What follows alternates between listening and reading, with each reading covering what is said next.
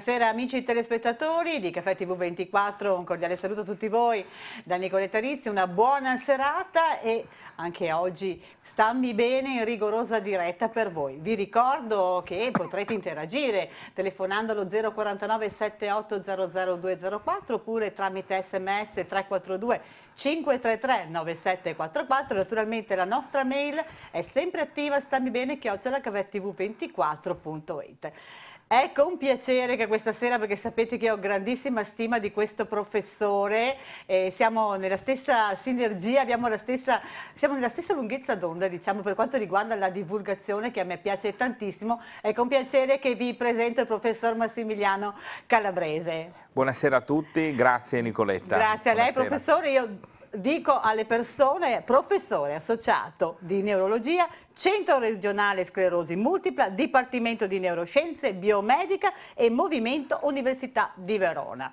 Professore, e poi devo dire siete stati premiati anche a Boston, siete veramente il top della ricerca per quanto riguarda questa malattia.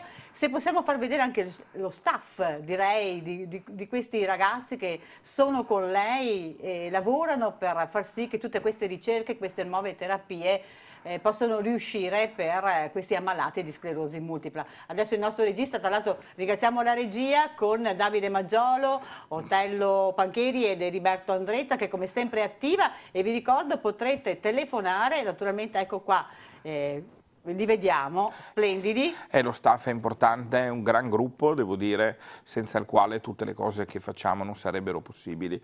E come vedete è un gruppo misto italiano e anche inglese. Abbiamo una partner molto stretta con l'Imperial College di Londra, dove adesso peraltro è partito proprio lunedì uno dei nostri giovani medici, è andato a imparare a Londra, che come sapete è una eh, grande eh, possibilità di interagire con i più grandi ricercatori, quindi siamo, devo dire sono molto contento del mio gruppo, stiamo lavorando bene. Ecco, ci sono tante belle novità, perché poi io mi sono sentita con il professore, ho detto Nicoletta, vengo da te perché ci sono tante cose che devo raccontare, soprattutto di un evento che si terrà il 10 di novembre in quel di Arzer Grande. Che cosa succederà, professore, il 10 di novembre? Il 10 di novembre, in eh, collaborazione appunto con l'associazione Insieme per la sclerosi multipla, il comune di Arzer Grande e la regione Veneto, vogliamo una dedicare un pomeriggio ai pazienti. Noi già lo facciamo, come molti dei miei pazienti sanno, da tanti anni. Questa cosa sta diventando un po' eh, una routine che deve essere, secondo me, perpetrata ogni anno perché è giusto che noi cerchiamo di trasferire al paziente in termini semplici quello che noi stiamo facendo e quello che può essere fatto per questa patologia.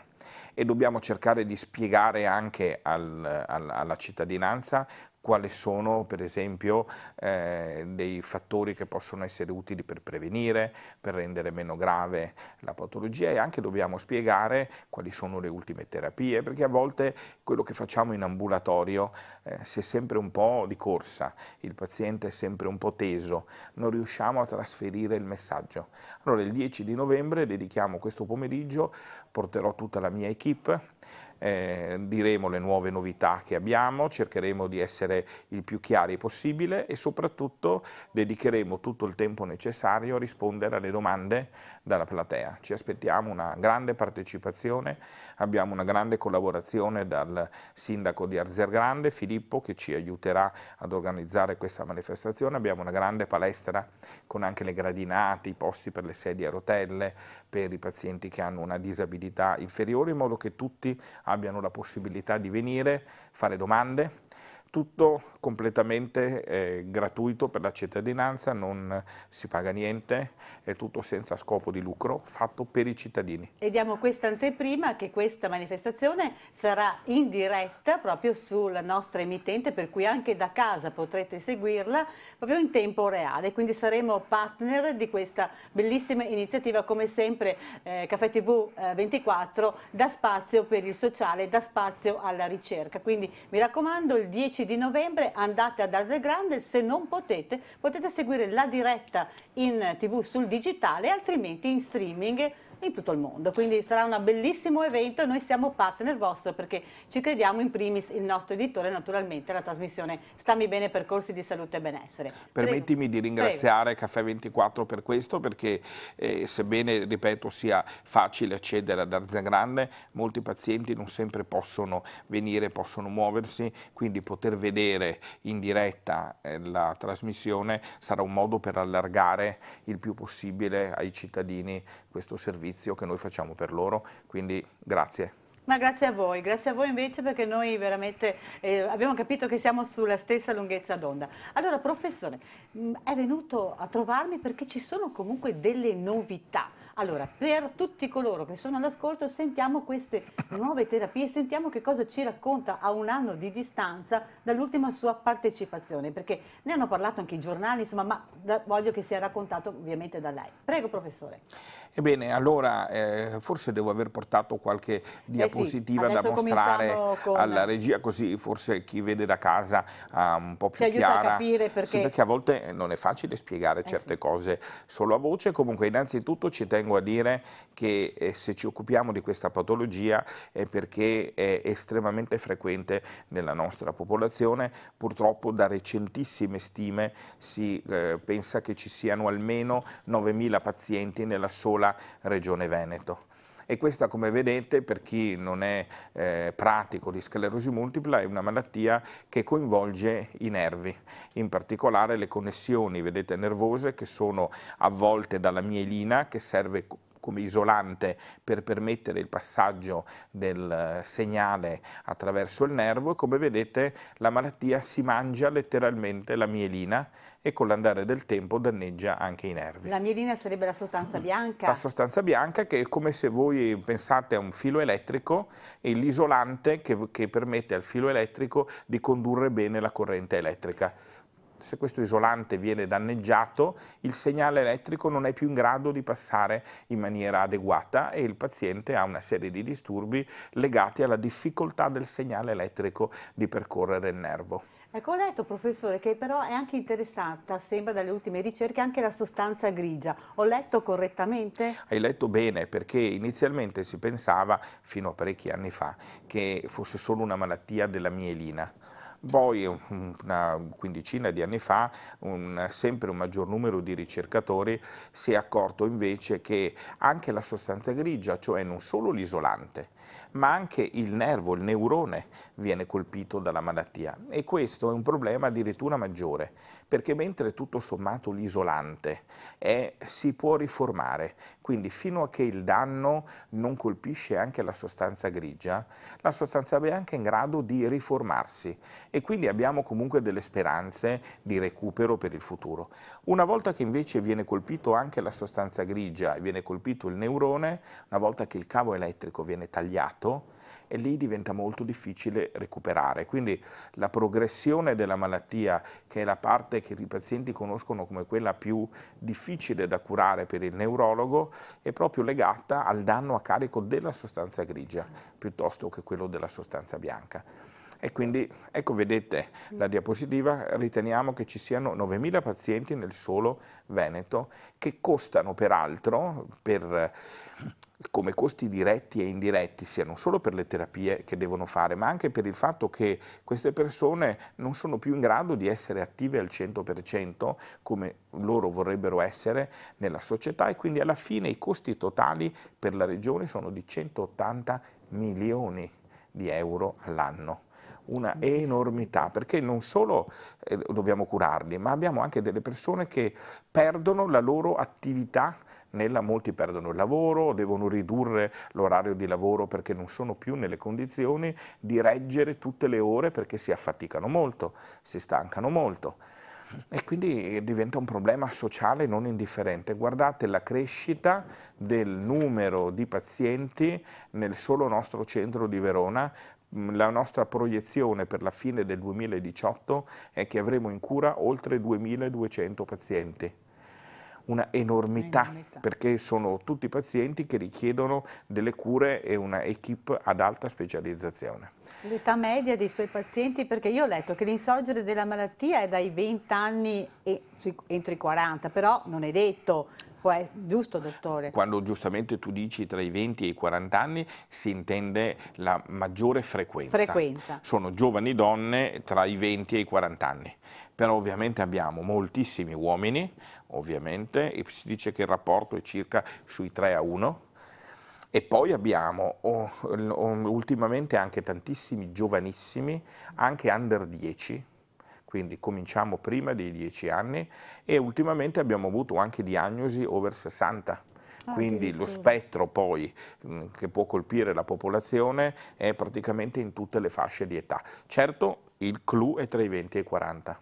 Ecco, c'è un modo diverso di reagire alla malattia, cioè come reagisce una donna e come reagisce un uomo, come la vivono professore? Eh, allora, eh beh, per quello che riguarda la donna devo dire che la maggior problematica oggi eh, riguarda le gravidanze, nel senso che eh, le terapie e quant'altro hanno sempre fatto pensare alle giovani donne che la malattia eh, potesse mettere in crisi soprattutto la loro possibilità di essere mamma. E invece questo non deve essere assolutamente, è compito del neurologo fare in modo che questo non sia e infatti devo dire che la maggior parte delle nostre pazienti ha bambini senza nessuna difficoltà. Però diciamo che la preoccupazione per il futuro nella donna è la cosa principale. Per l'uomo invece la vivono male perché chiaramente perdendo eh, rapidamente in alcuni casi la possibilità di essere attivi al 100% nel lavoro, spesso se ne vanno in fumo possibilità di carriera. Devo dire che da questo punto di vista c'è anche un grande pregiudizio per cui spesso pazienti non ridicono al loro datore di lavoro di avere la sclerosi multipla per paura di ritorsioni in ambito lavorativo e quindi i problemi sul, nel posto di lavoro sono anche particolarmente sentiti, eh sì. cosa che non ha motivo di essere perché se il paziente è seguito bene, oggi non abbiamo, riusciamo a, a mantenere le persone in perfetta forma fisica. Certo. Ritornando alle slide, dottore, lei sì. che, mi ha, che mi ha portato, architettura del nostro centro sclerosi multipla. Cosa significa? Eh, significa che appunto, mh, come vedete, il, qual è il punto cruciale? Che un centro sclerosi multipla all'avanguardia non può basarsi solo sul neurologo io sono neurologo, avete visto la mia equip prima, dove non ci sono solo neurologi, sono assolutamente fondamentali i neuropsicologi, conoscete sicuramente il dottor Pitteri che è certo, già stato tuo ospite, perché gli aspetti cognitivi del paziente, anche l'aspetto psicologico della malattia è molto importante, ma poi abbiamo ingegneri che si occupano di mettere a punto le risonanze magnetiche, radiologi che leggono la risonanza magnetica e devono essere esperti in sclerosi multipla, abbiamo poi un'intera equipe di biologi che si occupano, come poi vi farò vedere, delle analisi del liquor, del sangue e quant'altro. Sono fondamentali i fisioterapisti, perché come voi sapete eh, è possibile recuperare molto anche dal punto di vista fisico, anche quando i danni ci sono già stati e quindi se voi avete un fisioterapista bravo che si occupa di sclerosi multipla, anche la possibilità di recupero delle funzionalità perse migliora decisamente. Quindi insomma l'architettura prevede che ci sia un neurologo, ma che intorno al paziente poi lui sia coordinato all'interno di un gruppo che deve essere necessariamente multidisciplinare. Una sinergia di persone che lavorano solo in, così si in team. Esatto, solo così si ottengono dei risultati decenti.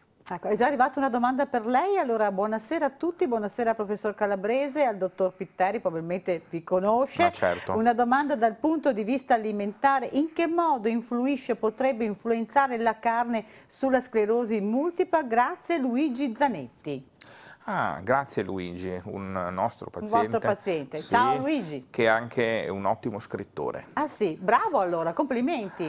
Allora, è una bella domanda, nel senso che voi sapete che oggi c'è una ipotesi, eh, non che sia che la, quello che noi mangiamo, diciamo il problema intestinale sia la causa della sclerosi multipla, ma sicuramente una concausa.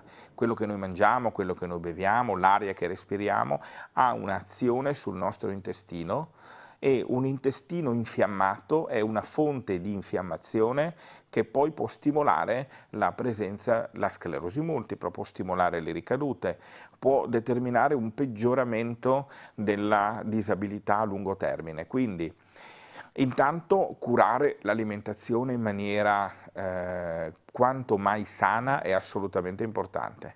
Io devo dire, non credo che la carne in sé sia un problema e non credo nemmeno che ci sia un alimento che sia un problema specifico. Io credo che sia un problema di alimentazione generale, un problema di sostanze che noi ingeriamo, anche di tutte quelle sostanze eh, come gli aspartami, quelle cose che noi, di cui oggi ovviamente noi non abbiamo una prova che queste siano, no, um, che vadano male, per molti mi chiedono ma questo fa male, quest'altro fa male, non c'è una prova scientifica, però certo avere un intestino in forma, quindi avere una flora batterica intestinale buona, questo è sicuramente protettivo. Mi raccomando anche i livelli di vitamina D, per esempio, ecco. che una volta si pensava fossero solo legati alle ossa, all'osteoporosi, sbagliato. I livelli di vitamina D sono importantissimi nella sclerosi multipla. Tutti i pazienti che io testo qui nel Veneto hanno tutti la vitamina D bassa, c'è uno scarso assorbimento intestinale e questo poi ha delle ripercussioni anche sulla malattia. Eh. Quindi ci sono diverse cose che stiamo studiando, una che stiamo, una eh, novità che stiamo facendo, faremo anche eh, a breve, abbiamo già cominciato degli esami delle feci, per andare a vedere la flora batterica intestinale perché c'è una flora batterica intestinale buona che è protettiva e una flora batterica intestinale che invece è più infiammatoria e può determinare maggiori problemi. Ecco. Ci sono, diceva prima dietro le quinte, delle zone dove ci sono più persone ammalate di sclerosi multipla. E voi ricercatori avete ragionato su questa cosa? E questa è un'altra un bellissima mm. domanda, perché sì è vero, ci sono alcune zone della nostra regione nella quale oggettivamente noi abbiamo, per esempio, una zona della bassa padovana, qui è particolarmente coinvolta da questa patologia. E, è difficile dire quali siano i motivi di questo. Sicuramente noi pensiamo che comunque una componente legata all'inquinamento atmosferico, all'inquinamento anche nelle cose che mangiamo, ma probabilmente non è qualche cosa che avviene solo oggi, ma è qualche cosa che è avvenuto anche negli anni passati e quindi dobbiamo andare a ritroso anche di 30-40 anni per trovare le cause iniziali. Però sicuramente ci sono delle zone che sono particolarmente colpite e poi se voi guardate peraltro il planisfero, quindi il pianeta, anche all'interno del pianeta ci sono delle zone ad alta densità, per esempio la Sardegna, è una delle zone, per motivi genetici probabilmente, dove si ha una valanga di sclerosi multiple. Ma anche noi nel nord-est siamo tra le zone in Italia mm. più colpite. E lì in Sardegna si mangia molto bene, lì c'è anche un'educazione alimentare, la dieta mediterranea, eccetera, aria beh, buona. buona. eccetera. Però invece c'è questo tipo di perché, problematica. Perché la sclerosi multipla, come voi sapete, ha una componente genetica mm. che conta probabilmente intorno al 30% e poi una componente ambientale. Vale. Quindi, Quindi entrambe e due le componenti giocano una zona fondamentale per poi determinare la predisposizione alla malattia. Ecco. Adesso arriverà una slide perché ci sono delle fasi della sclerosi multipla, c'è un inizio e poi un decorso, adesso le, le, vediamo insieme al professore così cerchiamo anche di capire anche l'inizio, le cause, le, quando i campanelli di allarme, perché adesso sono sicura, tantissimi telespettatori, mamma mia adesso io ho la stanchezza, ho se, sento i brividi, le scosse elettriche, perché io le so i miei telespettatori. Un attimo, calma che adesso vi raccontiamo tutto. Prego professore. Allora, sì, questa è una diapositiva che io presento spesso quando vado ai congressi, quindi è dedicata anche ai miei colleghi medici, neurologi e quant'altro, ed è molto importante perché la sclerosi multipla, come vedete, ha diverse fasi, come dicevi tu. Intanto c'è una fase preclinica nella quale il paziente non si accorge di niente e purtroppo questa fase non è diagnosticabile perché, ripeto, il paziente sta bene, però la malattia già comincia a lavorare quando arriva da noi con il primo episodio clinico, e quindi quando noi arriviamo al momento della diagnosi, probabilmente la malattia lavora già da qualche anno. Ecco perché stiamo cercando di mettere in cantiere anche per il futuro delle possibilità di screening che magari permettano di identificare precocemente la malattia, ma questo è un discorso ancora molto complesso. La cosa importante è arrivare quando succede il primo episodio clinico e qui vorrei tranquillizzare i pazienti. Le scossettine, il formicolio che va e che viene non devono preoccuparci, altrimenti io sarei dal neurologo tutti i giorni l'episodio con il quale esordisce la sclerosi multipla non è un episodio che può passare inosservato. Difficilmente il paziente non se ne accorge o difficilmente il paziente lo fraintende. Poi devo dire che oggi c'è una ottima diffusione della risonanza magnetica sul territorio, in particolare qui in Veneto, e dei neuroradiologi molto preparati. Quindi quando il medico di famiglia ha il sospetto, in genere una risonanza magnetica già permette di identificare i pazienti che hanno un rischio di, i quali poi vengono inviati al neurologo, il quale poi con tutta una serie di esami e di valutazioni cliniche dirà se sì o se no. Però tanti anni fa giravano un po' per i vari medici perché non c'erano magari ancora queste attrezzature, perché ho letto di racconti sui vari forum che eh, prima di arrivare alla diagnosi tanti pazienti hanno fatto vari percorsi, sono passati dall'oculista, insomma hanno fatto qualche giro, invece eh adesso sì. fortunatamente e si fa prima. E allora eh. chiaramente è una diagnosi difficile certo. e richiede un, non solo un neurologo, ma un neurologo che abbia una, specia, sì. una ultra specialità, ah, ecco. perché a volte è davvero difficile diagnosticarla e richiede anche una tecnologia all'avanguardia, perché per esempio, come dicevo, la risonanza magnetica non è uguale dappertutto e quindi anche è una macchina tecnologica e quindi avremo sul territorio macchine più tecnologiche e meno tecnologiche, macchine più preparate okay. anche per affrontare un quesito di questo tipo e quindi per esempio ho visto, avete mostrato una diapositiva, Eccola ecco questa è, sono delle immagini tipiche di pazienti con sclerosi multipla della risonanza magnetica che noi acquisiamo da noi a Verona nella neuroradiologia di Borgo Trento. Voi una, avete il top di risonanza magnetica. È una risonanza ecco. magnetica 3 Tesla, eh sì, eh. quindi è una risonanza magnetica ad alta risoluzione, è una risonanza magnetica che è, è stata eh, preparata dai nostri ingegneri per essere specifica il più possibile per la sclerosi multipla e quindi come vedete il dettaglio delle lesioni, questi puntini più giallini che vedete sullo sfondo rosso, si vedono molto bene anche all'occhio meno esperto e questo permette di essere molto precisi sia dal punto di vista diagnostico che prognostico. È chiaro quindi che una risonanza magnetica fatta in un certo modo è il necessaria per la diagnosi e per la prognosi del paziente. Ecco. Nel momento in cui si evidenzia che c'è questa sclerosi multipla, inizia un percorso.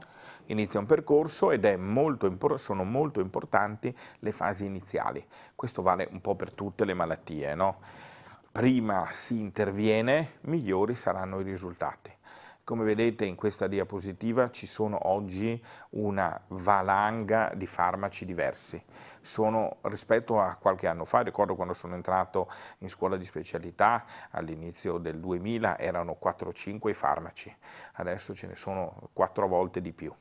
E quindi è importante ragionare fin da subito su qual è il farmaco migliore per quel paziente. Oggi il concetto di non solo cominciare presto a curare la sclerosi multipla, ma anche pensare ad una terapia personalizzata. Non diamo più la terapia a casaccio, diamo la terapia pensando bene a qual è la terapia migliore per quel paziente e questo deve essere fatto in maniera eh, precisa basandosi anche sulle evidenze scientifiche, risonanza, liquors, analisi del liquor, analisi del sangue che facciamo al paziente. Identificare fin da subito la terapia giusta dà i migliori risultati a lungo termine. Quando dico migliori intendo che oggi noi abbiamo la possibilità di garantire con un'ampia probabilità che quel paziente rimarrà in forma fisica ottima per moltissimi anni.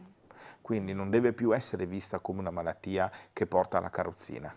Oggi il paziente che finisce in carrozzina è un errore che dovrebbe essere evitato, perché oggi è possibile evitare questo errore. Se si lavora bene fin dall'inizio con il paziente, i risultati si riescono a ottenere. Certo è se per vari motivi il paziente viene abbandonato a se stesso o peggio ancora lui non si fa curare in maniera adeguata, quando poi la malattia va avanti diventa più difficile intervenire dopo che sono avvenuti i danni, ma se si parte presto i risultati sono eccellenti. Ecco, lei mi faceva un esempio dietro le quinte, se una persona è in carrozzina non è che noi la tiriamo su dalla carrozzina, lì non siamo ancora arrivati, ecco. Devo dire Speriamo che... bene anche, anche, a casa le terapie, le nuove terapie. Devo dire che stiamo lavorando molto, e dopo vi dirò anche qualcosa sì. su questo, anche per i pazienti che chiaramente hanno negli anni accumulato danni così importanti. Però sì, hai ragione, ancora oggi siamo molto in difficoltà nel curare i danni. Mm siamo invece molto più bravi nel prevenirli. Quindi se il paziente viene che sei ancora in forma è il momento migliore per iniziare quando ormai i danni si sono accumulati è molto più difficile, difficile. ottenere dei buoni risultati. Quindi è importante la tempestività nella diagnosi, cioè più si è bravi ad arrivare da voi al vostro centro, più ci saranno risultati. Beh, non solo da noi, ci sono anche centri, tanti ecco, altri centri. Però di diciamo un, ecco. quello che secondo me è importante è che il paziente venga seguito da un centro ad alta specializzazione. Questo sicuramente è cruciale. Questo tanto prima viene fatta diagnosi, prima viene preso in carico da un centro di questo tipo e migliori saranno i risultati. Ecco, poi ci sono altre, eh, altre, slide, un professore che lei mi ha portato. Che sono quelle più interessanti. quelle più interessanti. Vai Davide, così mm, facciamo vedere i nostri telespettatori. Ecco, di recente in collaborazione con la dottoressa Magliozzi che lavora nella mia equipe oramai da un paio di anni, è una eh, grande ricercatrice nota a livello internazionale per aver scoperto questi follicoli meningei che cosa sono? Sono dei, eh, degli aggregati di linfociti, quindi di queste cellule del sistema immunitario, chiamiamole così, che sono un po' impazzite e determinano danni contro noi stessi, che si aggregano, come vedete, all'interno del sistema nervoso centrale nei solchi della corteccia cerebrale. Perché sono così importanti questi follicoli meningei? Perché formano della specie di grappolini d'uva,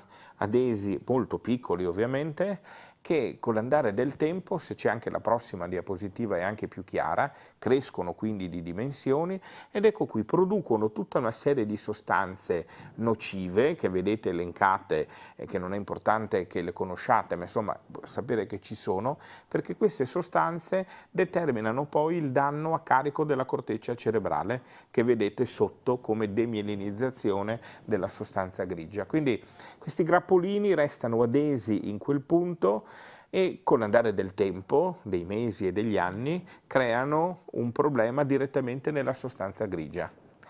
Perché è importante questa, questa scoperta? Perché questi grappolini producono queste sostanze che noi possiamo trovare nel liquor tutti i pazienti sanno che mm, per fare la diagnosi di sclerosi multipla è previsto proprio nei criteri diagnostici di fare la famosa puntura lombare, un esame tranquillo che non crea nessun problema al paziente, salvo a volte un po' di mal di testa nei giorni dopo, successivi. L'esame del liquor viene usato finora per fare diagnosi. Però su quell'esame del liquor noi abbiamo applicato una tecnica particolare che permette di analizzare quelle sostanze cattive. E così abbiamo identificato alcune sostanze particolarmente cattive che determinano la probabilità di avere una sclerosi multipla più aggressiva. Quindi combinando questi dati con la risonanza magnetica che avete visto prima, noi siamo in grado al momento in cui facciamo diagnosi al paziente anche di eh, dire com'è il suo profilo liquorale, un profilo liquorale più buono o un profilo liquorale più cattivo. Ecco, vedete, pazienti benigni in verde, pazienti più gravi in rosso. Tutte quelle macchioline sono la presenza di quelle molecole cattive, Ci sono alcune molecole cattive che noi possiamo identificare che sono tipiche dei pazienti più gravi e altre molecole diverse che sono invece più tipiche dei pazienti che vanno bene. Quindi al momento della diagnosi, senza fare nessun esame in più rispetto a quelli che si fanno per la diagnosi, noi siamo in grado di identificare, intanto a grandi linee, se questo paziente è un paziente con tante di queste sostanze infiammatorie o meno, quindi avere una identificazione diversa. Perché è importante questo? Perché siccome come avete visto abbiamo tantissime terapie, allora possiamo cominciare a modulare il tipo di terapia dando una terapia più aggressiva nei pazienti che tendono ad andare ad avere un decorso peggiore e invece dare una terapia più leggera a pazienti che ne hanno meno bisogno. Così personalizziamo la terapia e miglioriamo ulteriormente l'outcome, cioè come starà il paziente a distanza di tempo. Questa cosa assolutamente innovativa l'abbiamo pubblicata di recente su una delle più grandi riviste di neurologia al mondo, perché è la prima volta che queste molecole vengono identificate in termini di profilo, quindi possiamo determinare il profilo per ogni paziente. Il punto successivo sarà quello di identificare anche il tipo di terapia non solo una terapia più aggressiva o meno aggressiva, ma proprio il tipo di terapia più giusta sulla base di quelle molecole.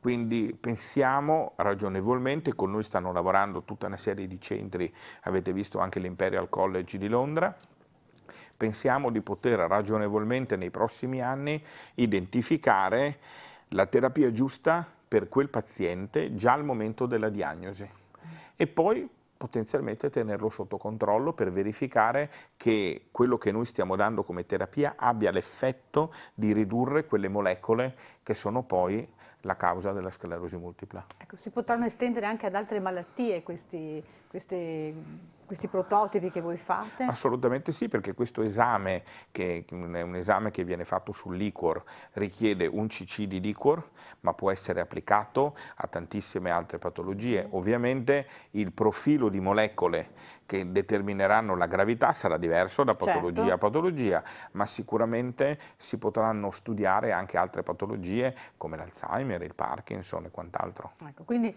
anche una riduzione di costi per il sistema sanitario perché nel momento in cui tu mi vai a individuare il paziente grave, sai se è grave, sai ha un percorso, quello meno grave ne ha un altro, quindi la riduzione di costi anche per il Servizio Sanitario Nazionale che non è male la cosa, visto che siamo veramente un po' Siccome, tagliano dappertutto. Sì, la regione ci chiede ovviamente di essere certo. molto oculati nella spesa eh sì. e quindi poter eh, identificare anche solo quel, quel, gruppo di pazienti che siamo sicuri vanno meglio e dargli quindi una terapia meno aggressiva per loro, con meno effetti collaterali e meno costosa, vuol dire risparmiare risorse che poi possiamo utilizzare per quei pazienti che invece vanno peggio. Perfetto, allora proseguo con le domande, buonasera, vorrei sapere se c'è qualcosa che si possa fare per prevenire la sclerosi multipla. Eh, ma questa è una domanda molto difficile. Eh sì. Allora, è difficile rispetto, rispondere a questa domanda. Posso dirvi questo. Allora, eh, prima vi ho parlato dell'ipotesi intestinale, no? quindi sì. molti ritengono che un'infiammazione intestinale possa essere un movente eh, un primum movens per la, quindi sicuramente avere una dieta giusta, la classica dieta mediterranea, frutta, verdura, insomma una dieta sana, questo è sicuramente una cosa importante. E per quello che riguarda altre eh, possibilità di prevenzione, oggi non ce ne abbiamo perché non riusciamo a identificare, evidentemente le variabili che possono creare la patologia sono troppe e quindi uno dovrebbe probabilmente vivere alle Hawaii eh, col margaritas in mano. Devo anche, ecco, per intenderci, eh, dire una cosa riguardo lo stress.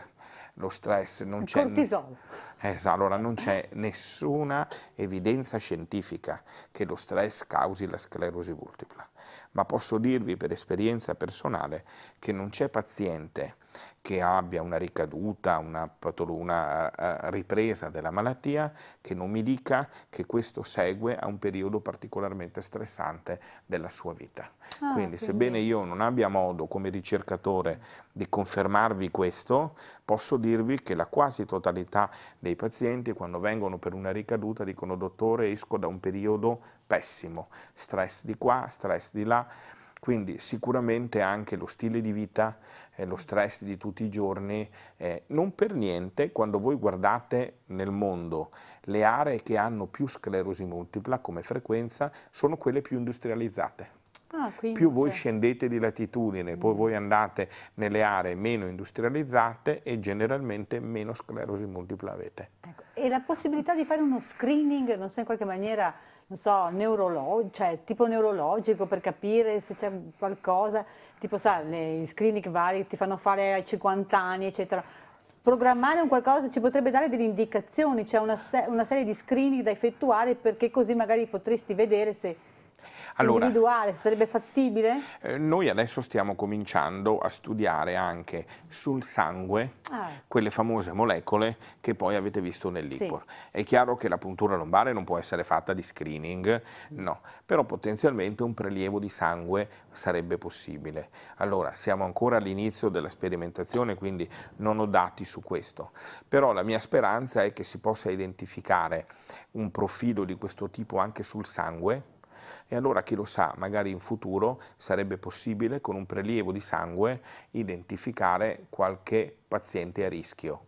Allora, se questo fosse possibile, sarebbe una grandissima scoperta. Ci stiamo lavorando, siamo ancora un eh po' sì. indietro. Eh, secondo me però ce la farete, ce la farete. Allora, dice, ciao caro professor Calabrese, sono Linda da Mestre, tua paziente. Vorrei chiederti un parere in merito alle possibilità di rigenerazione della mielina Cosa può, prendere, cosa può prendere per questo?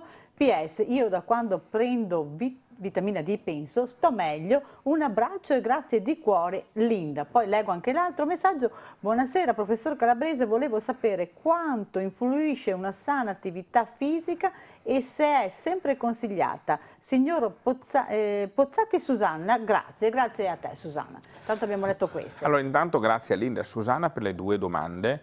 Allora, in, per quello che riguarda la rigenerazione della mielina, allora intanto una parola sulla vitamina D di cui abbiamo già parlato, sono contento che Linda si trovi meglio, non è l'unica, quindi a tutti i pazienti che hanno la vitamina D bassa, io suggerisco di rimetterla ai valori normali eh, non occorre fare delle ultradosi e prendere vitamina D fino a, a riempirsi fin sopra i capelli, basta prendere il giusto per ottenere dei valori normali. Già questo costituisce un, sicuramente una, un tocca sana per il paziente. Per quello che riguarda la rigenerazione della mielina, forse ne parleremo anche dopo, però stiamo provando un farmaco che si chiama opicinumab e che ehm, permette in teoria di stimolare la rigenerazione della mielina, cioè di stimolare gli oligodendrociti, che sono le cellule che formano il rivestimento, di stimolare a ripararsi, a rigenerarsi e a riprodursi. Questo tipo di eh, sperimentazione è cominciata da noi già da qualche mese, abbiamo già alcuni pazienti che la stanno facendo, i risultati iniziali sono incoraggianti perché sarebbe la prima volta che abbiamo a disposizione una terapia che non serve per fermare la malattia, ma per riparare i danni fatti in passato. Quindi questo sarebbe davvero un grande eh, rinnovo per eh, la nostra attività di ricerca. Per quello invece che chiedeva... Attività la, fisica? Ah, l'attività fisica sicuramente sì, in tutte le forme e le fasi della malattia più attività fisica viene fatta, migliori sono gli outcome del, che noi abbiamo per il paziente. Non c'è alcun dubbio e non ci sono problemi nel fare anche un'attività fisica importante. Quindi eh, lo dico ai fisioterapisti che ci ascoltano, ai fisiatri e quant'altro fate lavorare i vostri pazienti, non abbiate timore, se avete dei dubbi chiedete al vostro al neurologo di riferimento, il paziente deve lavorare, certo una terapia personalizzata, ma l'attività fisica e aggiungerei tra parentesi e anche l'attività cognitiva, so che il dottor Piteri sarà d'accordo, Eh, sì, eh. l'attività fisica e l'attività cognitiva sono fondamentali in tutte le fasi della malattia. Altre domande. Allora, dice, il dolore è un altro sintomo della sclerosi multipla. Come si supera il dolore quando non si possono prendere antidolorifici? Quel classico dolore come scosse elettriche che parte dai piedi e sale polpaccio, cosce fino al bacino? Non parliamo poi quando cambia il tempo, tutto è amplificato. Piera, il dolore. Il dolore è una componente che purtroppo accompagna molti dei nostri pazienti. Il dolore e aggiungerei anche la fatica, l'affaticamento che poi diventa dolore addirittura. È un problema non indifferente, ehm, soprattutto se poi si- possiamo avere poca azione con i farmaci antidolorifici. C'è oggi qualche strategia che stiamo provando, come per esempio delle sedute di agopuntura? Che eh, devo dire io cerco di La essere mesoterapia si chiama la mesoterapia eh, e sì. quant'altro che hanno dei benefici da questo punto di vista non indifferenti. So che i colleghi fisiatri si stanno organizzando per ehm, eh, terapie appunto tipo mesoterapia che possono avere una grande importanza. Aggiungerei una cosa che può sembrare non c'entrare niente, invece è molto importante, l'ho appena detto, è l'attività fisica soprattutto sulla fatica, sui dolori, sulle scossette di cui parlava Piera, un'attività fisica importante aiuta a ridurre anche questi disturbi. Per cui fare una fisioterapia è importante, ma anche cercare di fare tutti i giorni, per esempio, voi sapete che la sclerosi multipla porta tra i suoi sintomi la spasticità. La spasticità vuol dire che il muscolo è costantemente contratto. Costantemente contratto dopo un po' fa male. Lo stretching è eccellente da questo punto di vista, quindi gli allungamenti muscolari sono molto utili per ridurre questo tipo di dolori, ma come l'errore che vedo spesso fare i pazienti è che li fanno due volte alla settimana, due orette alla settimana. Non serve due orette alla settimana, molto meglio farlo tutti i giorni, magari 10 minuti, no, senza perdere troppo tempo, ma due volte al giorno. 10 minuti e 10 minuti, un po' di allungamenti e questo aiuta. Fatevi consigliare dal vostro fisioterapista e vedrete che il miglioramento sarà iniziale ma già significativo. Benissimo. Poi abbiamo un altro, Davide. Allora, ciao. A volte mi sento come un ottantenne, ma ho solo 26 anni. Dimentico di continuo informazioni e parole. Inutile iniziare un corso di lingua per me. Difficilmente riesco a concentrarmi, quindi sicuramente ho anche problemi cognitivi di memoria. Magari qualche consiglio? Ma eh, la memoria è all'interno della sclerosi multipla, le difficoltà di concentrazione di memoria per le persone che sono ammalate? Punto di domanda. Assolutamente sì. Si stima che i disturbi di memoria e quant'altro siano presenti tra il 40 e il 70% dei nostri pazienti con una frequenza crescente piano piano che aumenta la durata di malattia e l'età, ma non è assolutamente frequente che un 26enne dis- riscontri già di questi problemi. Allora, due sono le cose che mi sento di dire al nostro ascoltatore. La prima, come per l'attività fisica, anche l'attività cognitiva è fondamentale. Anche se lui si sente in difficoltà e pensa di non farcela, il corso di lingue di cui ha parlato dovrebbe tentare di farlo. Anche solo il tentativo, no? l'impegno di mettersi a lavorare da questo punto di vista gli darà un beneficio. Poi suggerisco di parlare con il suo neurologo. Noi per esempio stiamo mettendo a punto una serie di eh, meccanismi di riabilitazione cognitiva che saranno fatti computerizzati, aiutati dalla realtà virtuale, dalla realtà aumentata. Credo che già al, al meeting di Arzer Grande ve ne parleremo eh, basandosi quindi anche su videogames e quant'altro che permettono al paziente di riattivare alcune funzioni cerebrali che lui sente in difficoltà. Ma lo scopo è sempre quello, attività fisica, cognitiva e quant'altro sono fondamentali.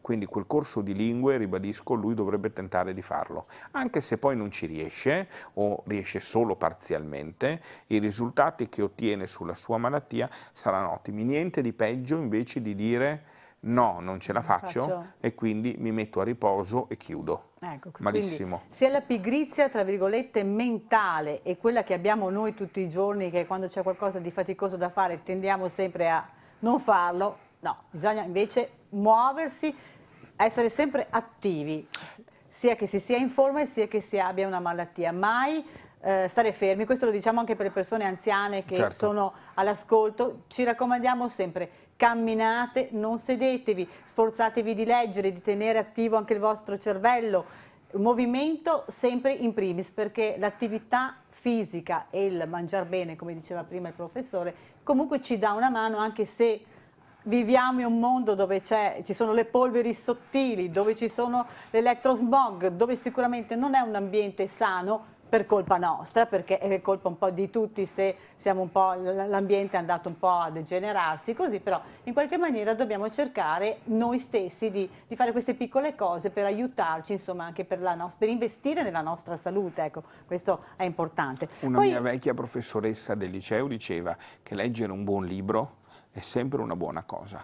Quindi anche in questi casi, quando uno si sente un po' in difficoltà, leggere un buon libro, cercare di riassumerselo, eccetera, è già un'ottima attività cognitiva. Ecco. E tra l'altro poi eh, vorrei dire anche ai nostri telespettatori, magari sicuramente molti di loro saranno ammalati di sclerosi multipla, poi parlarne anche, perché stasera mi sarei aspettata di sentire qualcuno di voi. Al momento non ho sentito nessuno tutti messaggiano. Adesso vediamo se mi chiama qualcuno, perché poi io mi metto in prima linea con voi, però mi aspetto anche di avere un dialogo, perché siamo qui proprio per fare divulgazione, perché come avete sentito è la regola numero uno, divulgazione, perché ci si deve incontrare, ci devono essere queste sinergie tra noi, i media poi soprattutto, perché siamo noi che entriamo in casa vostra, noi che ci mettiamo anche la faccia e quindi e diamo, poi io ho tantissima stima del professore, quindi so chi entra nelle vostre case, ci mancherebbe. Allora, dice... Se posso dire una cosa prego, su prego, questo, prego.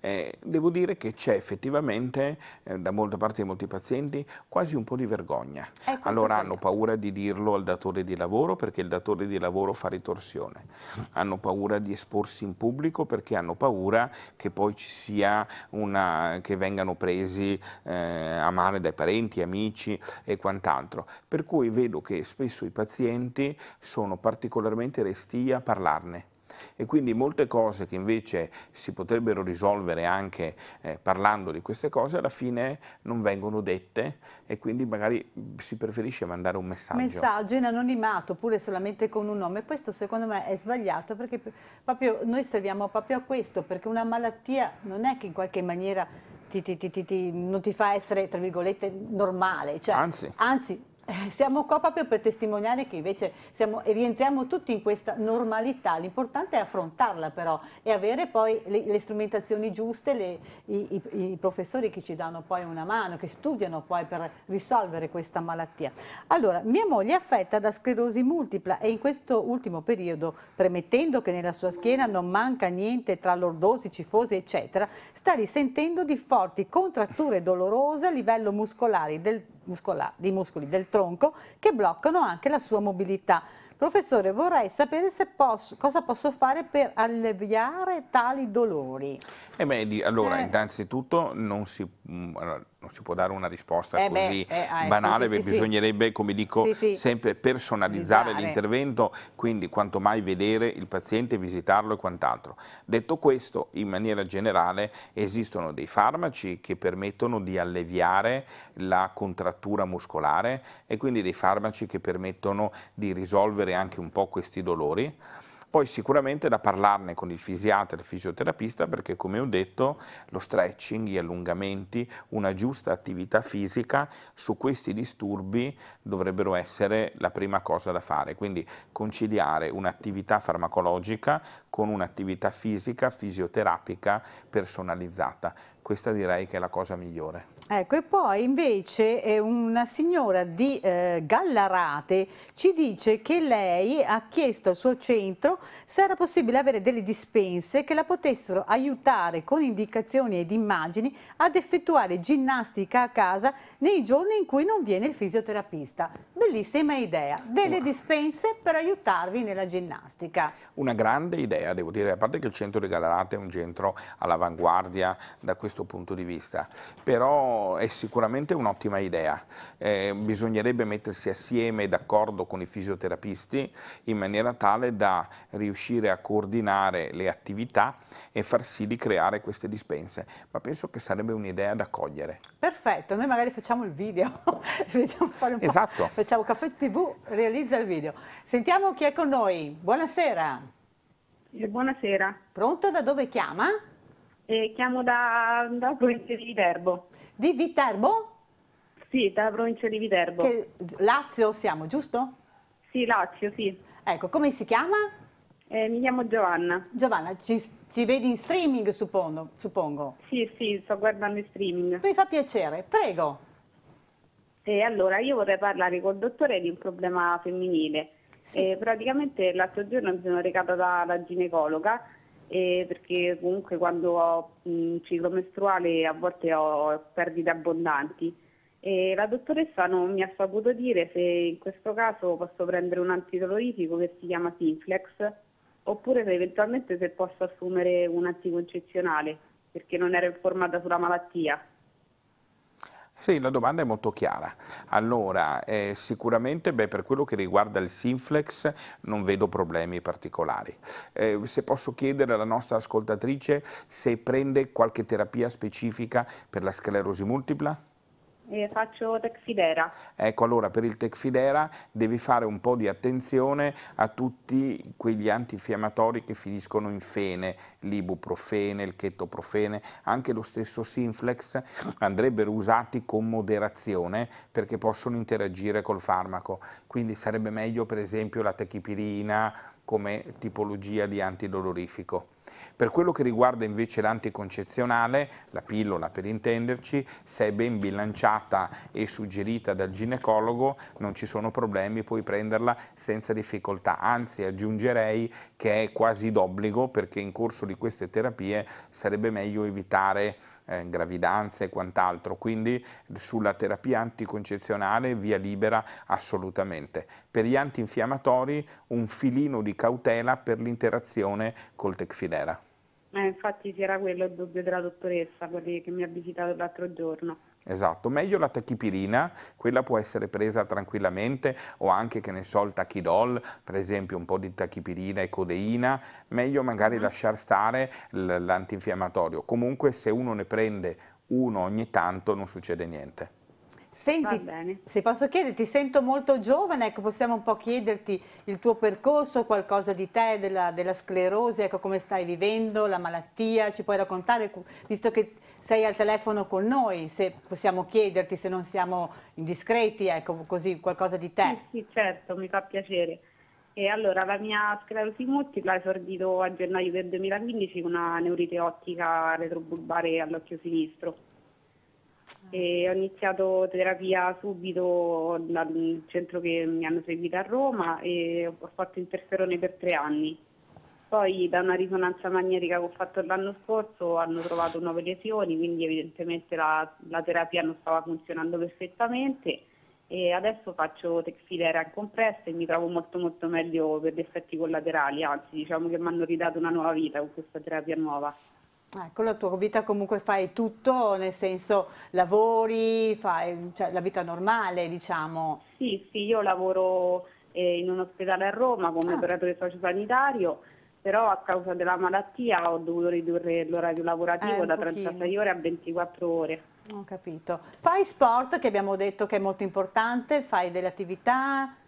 Per... Sì, da, da, quando ho saputo di avere questa, questa malattia faccio yoga un paio di volte a settimana. Quindi un po' tipo stretching, quello, quello, che diceva il professore. Sì, allora, sì, lo yoga fa benissimo. è un sport. Sì. Eh, eh sì, è.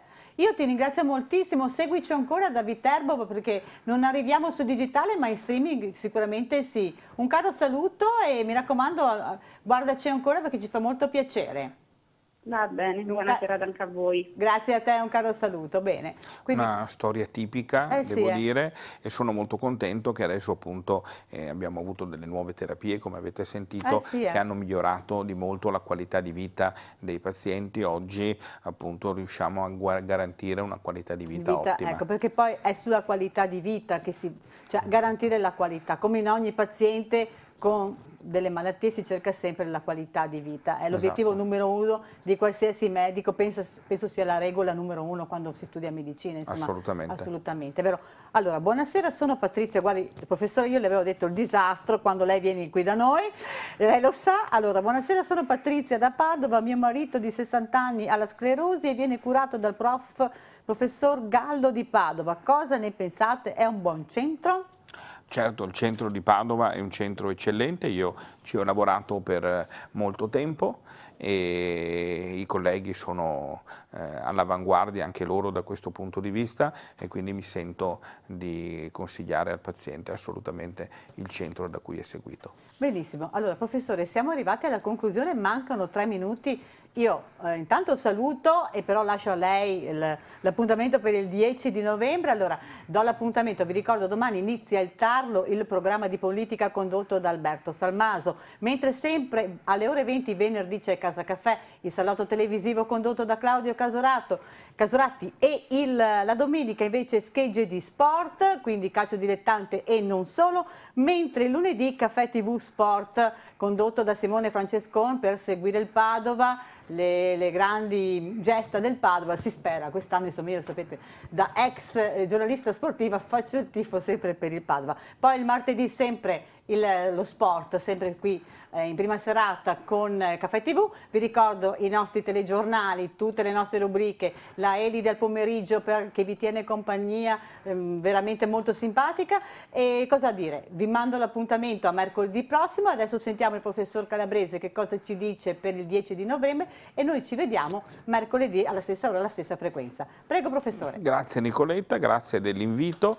Aspetto tutti quelli che hanno altre domande o che vogliono essere informati sulle novità il 10 di novembre ad Arzer Grande, daremo ampia diffusione alle, alla locandina in modo che sappiate tutti dove si trova, però vi aspettiamo numerosi il 10 alle 4 del pomeriggio ad Arzer Grande e Caffè TV sarà in diretta e seguiremo tutti questo evento. Un cordiale saluto a tutti voi da Nicoletta Rizzi, al prossimo mercoledì. Ciao a tutti.